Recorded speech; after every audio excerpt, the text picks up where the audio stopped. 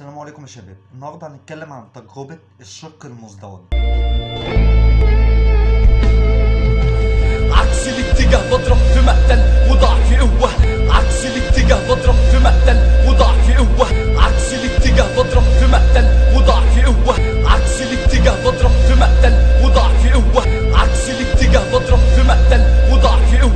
قوة بيسموها شقي يون على اسم العام العالم توماس يون الفيزيائيين اللي درسوا مستوى الكم بشكل عام لاحظوا أشياء غريبة في العالم. أن الجزيئات في المستوى ده بتاخد أشكال مختلفة. على سبيل المثال لاحظوا العلماء في التجربة دي إن الفوتونات بتتصرف كجسيمات وكأمواج.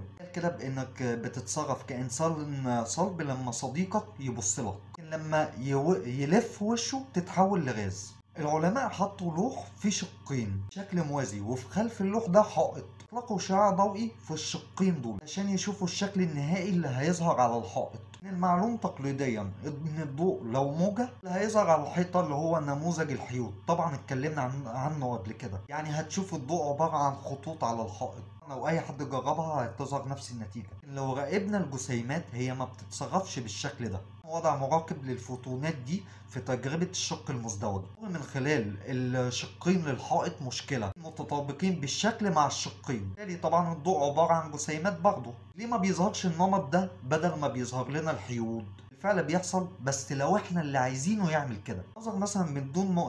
من دون مراقبة الضوء اجتاز الشقين في نفس الوقت. لكن بالنظر لي على إنه جسيم ووضع مراقب ليه هو سيعبر فقط من أحد الشقين. فبالتالي لو إحنا عاوزينه يتصرف على إنه جسيم فلازم نحط له مراقب ونحط له جهاز قياس. عشان نعرف فوتونات الضوء هتعدي من أنهي شق فيهم زي الكاميرا. لو التقطت صورة لكل فوتونة عند مروره من أحد الشقين الفوتون مش هيعرف يمر من الشقين في نفس الوقت. معنى أصح مش هينفع يكون موجة التداخل الموجي ده مش هيظهر على الحيطة. اللي هيظهر لنا خطين. يعني الضوء هيتصرف كجسيمات لو حطينا له مراقب لو حطينا له كاميرا. يعني لو عملنا تغيير في طبيعته الفيزيائية بوضع حجر قياسي أو لمراقبته ده يسمى بتأثير المراقب.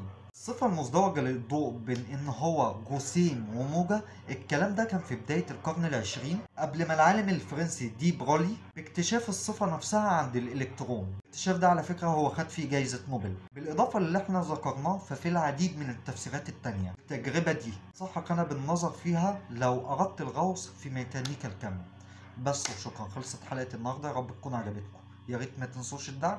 السلام عليكم. الاحمر هو دمي.